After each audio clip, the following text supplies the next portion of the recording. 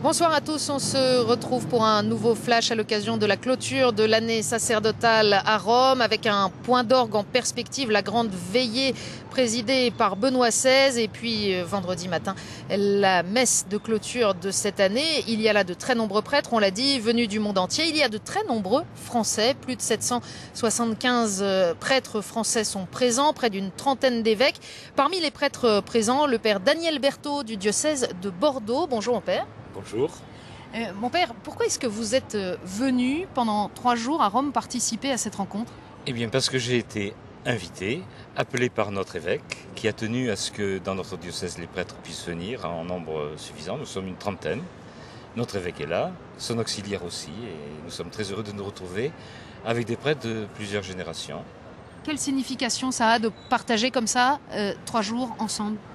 Eh bien, ça renforce euh, la fraternité des prêtres, la fraternité dans l'amour du Seigneur. Et avec les diverses générations, justement, nous voyons la ferveur des, plus jeunes, leurs idées un peu nouvelles, et, nous qui nous rappelons nos souvenirs. C'est vrai que dans, les échanges, parfois, nous avons, nous, ceux de la même génération, envie de raconter ce que nous faisions jadis, et puis de raconter surtout ce qui se passe dans, dans nos différents secteurs, oui, en échange, mais spontanément, sans avoir un, un ordre du jour préétabli. Là. Ça vient comme ça, à l'occasion.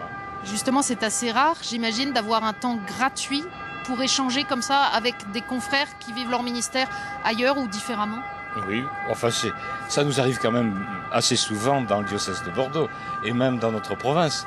Tous les deux ans, nous avons une réunion à Lourdes avec tous les prêtres, enfin ceux qui veulent, et puis nous avons des récollections.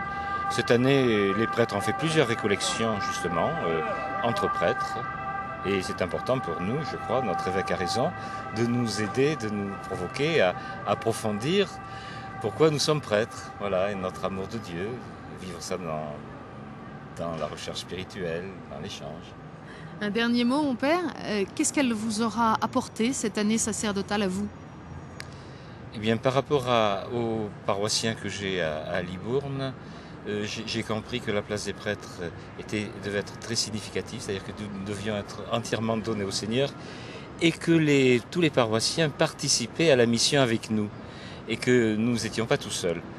Et c'est vrai que dans nos paroisses, euh, il y a beaucoup de projets, d'efforts qui se font en commun et, je crois nous voyons toute une église qui, qui avance et les prêtres sont de mieux en mieux situés, je crois. C'est ce que nous essayons de chercher.